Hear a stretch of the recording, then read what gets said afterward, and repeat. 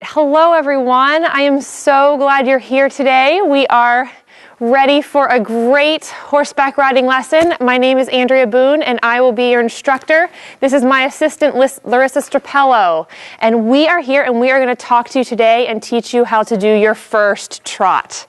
Anyone excited? Yes. Yeah, so up until this point, right, we've been working on how to start, stop, and steer.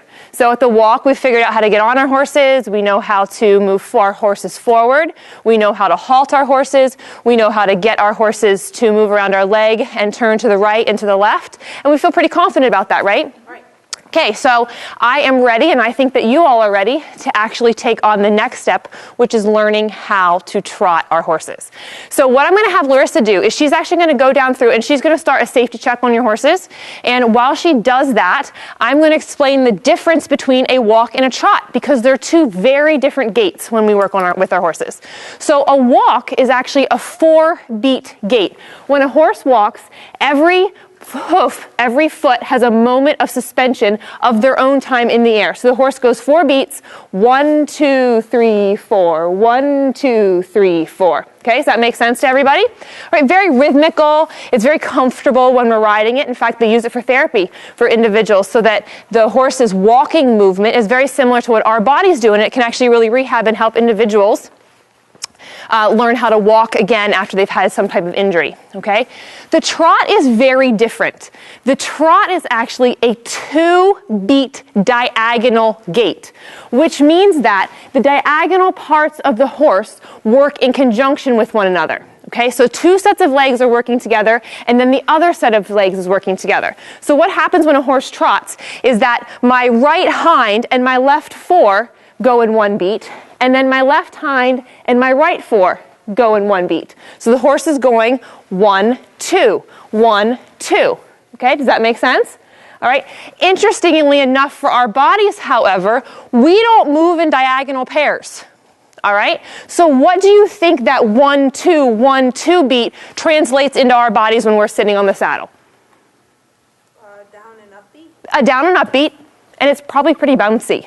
right? Because we don't move diagonally. So when we're doing that one, two, one, two, it's going to be a little bit bouncy when we're up there versus this very rhythmical walk that you guys are used, excuse me, used to.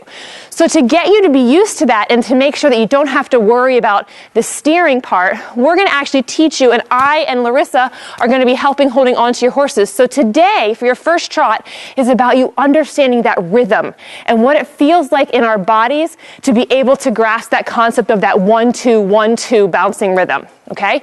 So what we're going to do is we actually have, for those of you who are in Western Tack, you are going to be using your horn to hold on to.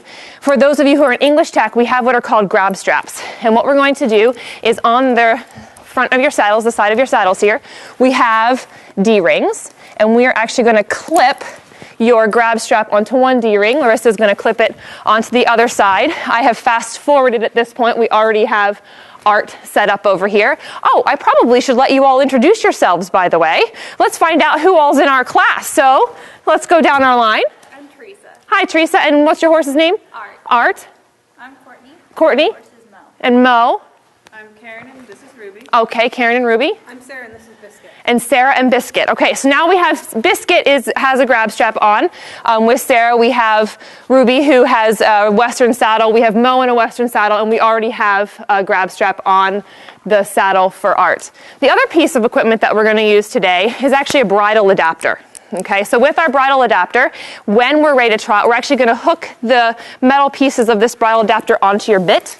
Okay, and then we're going to hook a lead line onto that so that we will actually be in control of your of, of helping you control your horses when you're moving so you don't have to worry about the steering component. Okay, you will still have your reins, um, but that way we'll be helping you. Okay, so I'm going to hand this off to my uh, assistant Larissa. So what we're going to do is we're going to take each of you and get you mounted. So we're going to have you walk over to, we're using our mounting ramp over here. Um, it's one of the nice things that we have in our arena.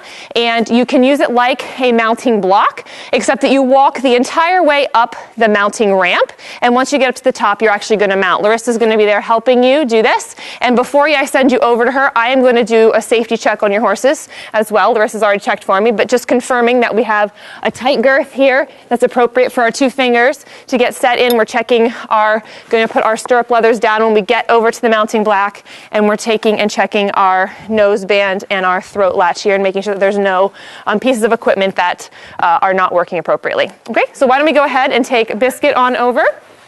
I will look at Ruby here while we do that. Looks good.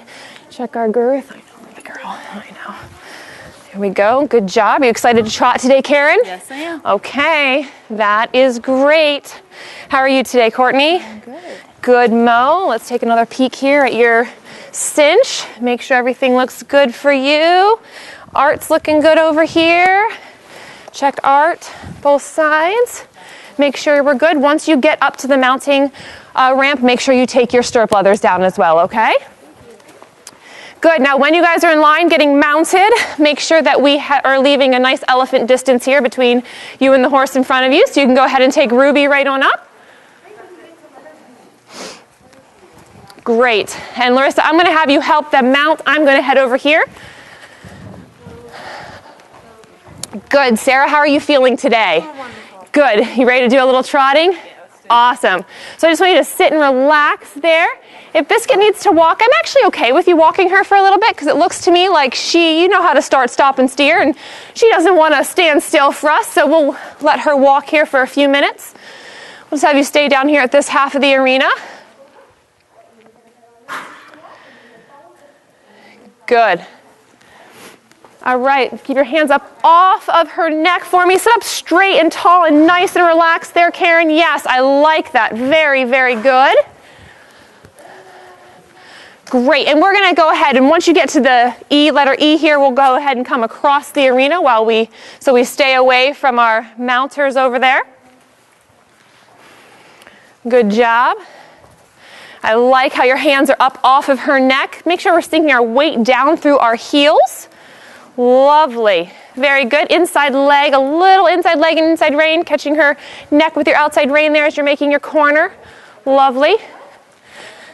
Good. Courtney, you're just going to keep your eyes up and you're going to go ahead and just head on down around the outside of the arena there. Good. I like that nice relaxed leg and your hands are up nicely. Good job. Your heel looks good.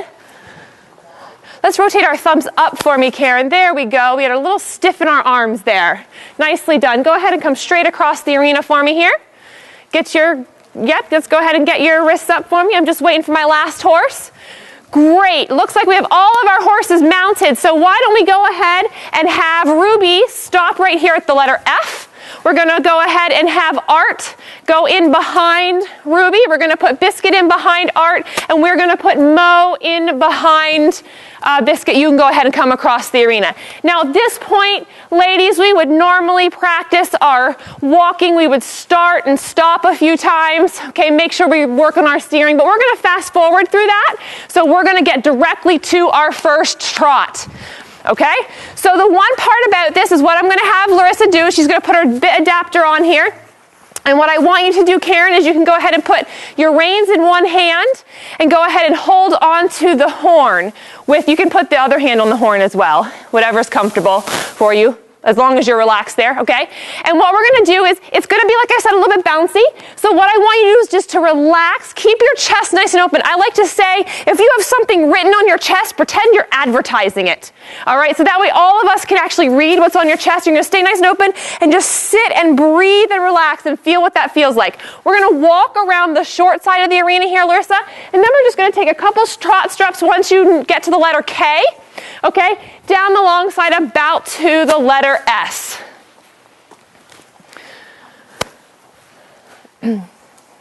Good. Karen, eyes up. Go ahead and focus on the mirror at that end of the arena.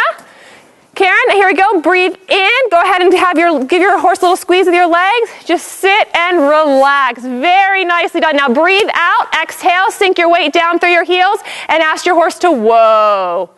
Nicely done. What do you think of that, Karen? Awesome. All right, Larissa, can I have you unclip here? And we're going to come back to this front side of our group here, and Art is going to be next. My poor assistant has to hustle in between horses for this part of our, our lesson. Nicely done. Okay, so Teresa, what you're gonna do, yep, is you kind of just loosen up your reins a little bit here, but you're gonna take both hands and hold on to your grab strap. Both hands. Yep, there you go. Okay, so the reins are loose, so we're not pulling on their mouth. Because the one thing that happens a little bit, and the reason I like to do it this way, is when we bounce, sometimes we let our hands follow, and then it jerks on the horse's mouth. So until we get used to that, we want our hands to stay nice and soft and, and relaxed. And then we're going to learn in the future, we're actually going to learn how to do it without our hands, and then we're going to get our reins back on our own. Okay, are we ready? Eyes up. Breathe in, give your horse a little squeeze with the inside of your shin bones. Just sit and relax. I love that. Nicely done. Now, eyes up, breathe out, sink your weight down through your heels, and close your legs around the horse's barrels. You say, Whoa, well done. Very nice first trot. What did you think of that, Teresa? Oh, I love the smile. The first trot brings out this little smile from everybody. I love it. All right, Biscuit says, You know, I think it's time, she said. She wants to do her little first trot here, doesn't she?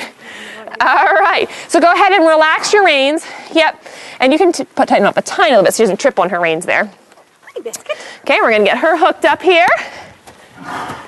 Okay, same thing, Sarah. I just want you to relax. You walk around your, your half turn here, and then once you come out of the letter K, I want your eyes up, focus on that mirror at the other end. Great, and little Miss Mo needs to whoa. Good girl, Mo. Nicely done, Courtney. I like how you sat up on that one. Make sure you keep your eyes up. All right, you ready, Sarah?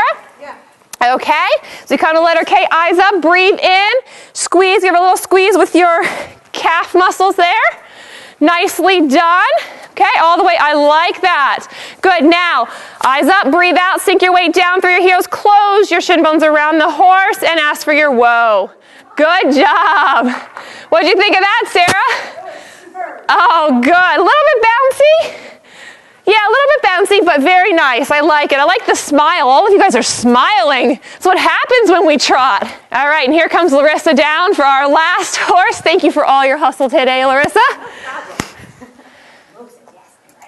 All right, Courtney, go ahead. Good. You got one hand on the horn there. I like that. Just relax the reins a little bit because I don't want you jerking and pulling on her mouth.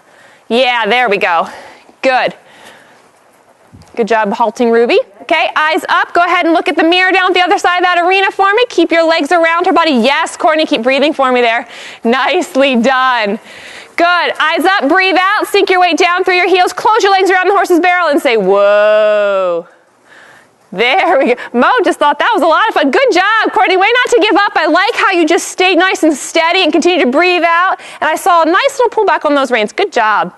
Okay. All right, guys. You can go ahead and halt Mo right in the line there. What'd you guys think? Was it fun? Okay.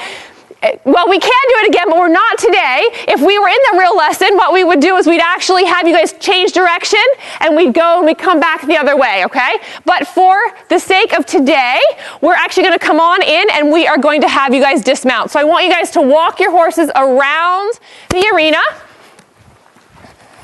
Good job. Remember to look with your eyeballs and your belly buttons as you're coming around your turn. Karen, when you get down here, the letter S, you're going to turn and bring your horse into me, into the middle of the arena, and then you're going to halt. Teresa, you're going to leave one elephant between you and her, and then you're going to go ahead and come into the arena. Same thing with you, Sarah. You're going to come in, and then Courtney, or between the letter K and letter V there, you're going to go ahead and turn Mo and come on in, okay? Good, Karen, go ahead right to Larissa. Teresa, you can go ahead and look at me with your belly button and your eyeballs. Good. When you get in, make sure you guys, yes, Sarah, I like that. Good, Courtney. Now everyone asks for the halt. Eyes up, breathe out, sink your weight down through your heels. Good. Now relax your reins a little bit and give your horse a pat tell them they did a great job today. All right. I love it. Um, what we're going to do is we are going to dismount, and then I want to hear about one thing that you guys learned from your lesson today, okay? So let's go ahead. Larissa's gonna go ahead and help over there with Karen. Remember, when we dismount, folks, we are going to kick both feet out of our stirrups, okay?